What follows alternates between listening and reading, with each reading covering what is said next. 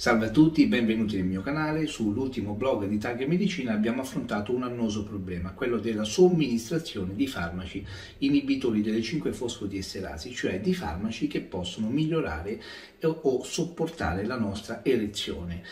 Le vie di somministrazione classiche sono quelle orali, sappiamo esistono anche oggigiorno delle formule sublinguali come ad esempio il Rabstrom, il Siler, un sildenafil sublinguale, come anche le iniezioni locali chiaramente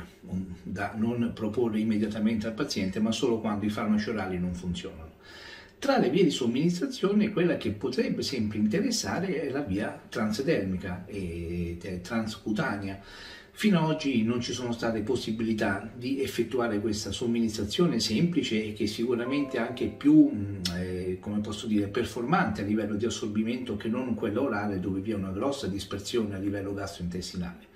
Gli ultimi studi, utilizzando un derivato naturale della vitamina E, sono riusciti a far sì che questa molecola naturale, il ATPGS, molecola eh, chiaramente che non descrivo per le mie incompetenze a livello chimico, ma è in grado di attraversare eh, la parete cutanea, di avere quindi un'azione transdermica, fare un po' da trasportatore. E questa molecola diciamo così, attiva a livello termico è stata associata alla vanafil, una molecola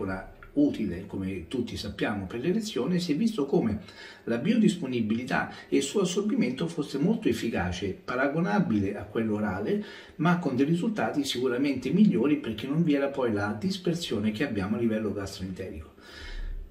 Per il momento è tutto sperimentale sulla cavia, ma è molto vicino il passaggio poi a livello di sperimentazione umana. Non ci sono stati gli effetti collaterali, che sono farmaci ormai codificati da più di vent'anni, sicuramente quindi una, una via di somministrazione per molte persone più pratica, utile e priva di effetti collaterali.